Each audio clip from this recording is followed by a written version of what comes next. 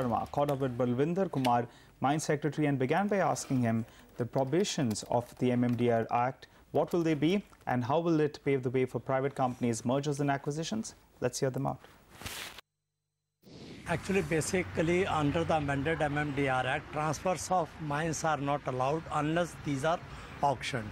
So now the provision is being made uh, in the MMDR Act to allow captive mines to be transferred so as to allow merger, acquisitions, and transfer of uh, captive mines, basically. How much of uh, mergers and acquisition will be based on this uh, particular amendment?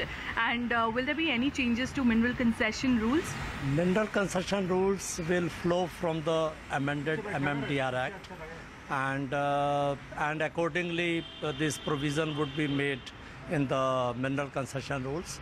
And there are certain proposals pending, and it will facilitate uh, those uh, proposals. And how soon can we expect Parliament to give a nod to a- amendment to MMDR? No idea, I can't say on that. Would you be pushing for it in the budget we will session? be pushing, but uh, I can't say. I can't say about the timeline. Okay.